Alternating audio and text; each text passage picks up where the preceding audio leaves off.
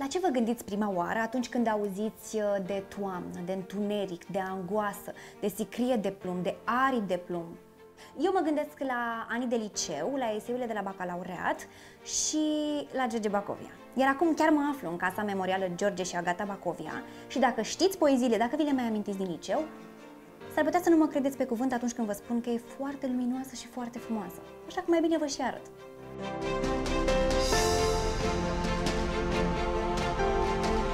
George Bacovia se năștea pe 17 septembrie în anul 1881 la Bacău, într-o familie numeroasă, o familie de negustori, o familie cu 8 copii. În această casă se stabilea în anul 1933, datorită soției sale, Agata Grigorescu.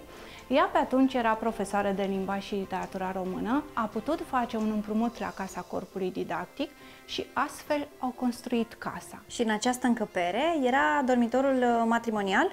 Da, în această încăpere în care ne aflăm, de fapt era dormitorul familiei Bacovia, dar aș spune camera Agatei mai degrabă, pentru că mare parte din timp poetul și-l petrecea în micuța lui cămăruță. Ca orice artist, bănuiesc că avea și un pat acolo, să se retragă, dacă avea locul, nevoie să odihnească. Locul lui de somn, de meditații.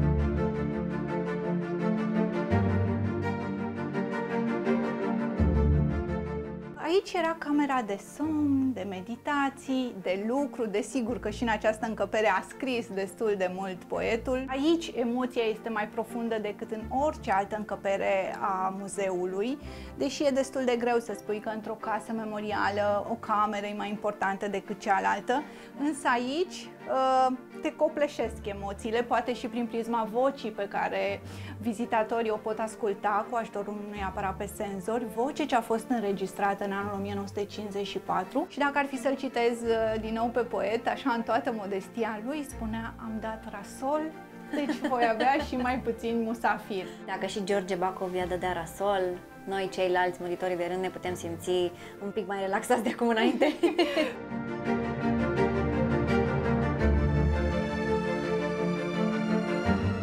acest dulap și el uh, de mici dimensiuni se află masca mortoară și mulajul după mână. Tot aici se află două obiecte. Ceasul a fost întors pentru ultima dată de către poet și ora a fost pusă de mâna soției sale când el și-a dat ultima suflare.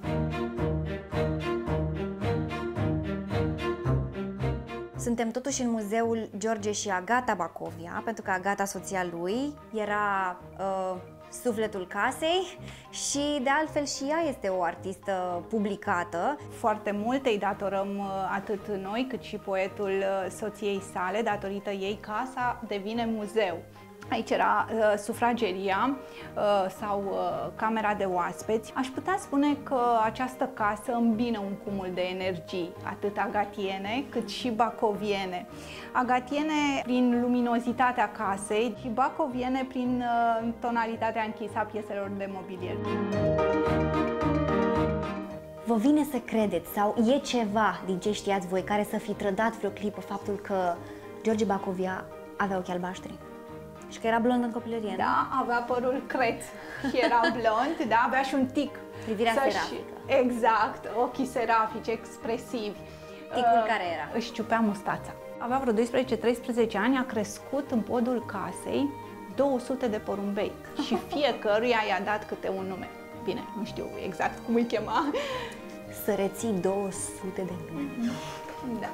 Porumbel 1, porumbel 2, porumbel... Cine ah. știe? Ce v-am spune că v-am convins să veniți să vizitați Casa Memorială George și Agata Bacovia. Dacă nu, o să vă dau un mic secret uh, interesant. Um, mie personal nu mi-a fost foarte la îndemână să intru efectiv în camera de lucru a poetului. Dar ca să înțelegeți de ce, vă recomand să veniți să vizitați și voi muzeul.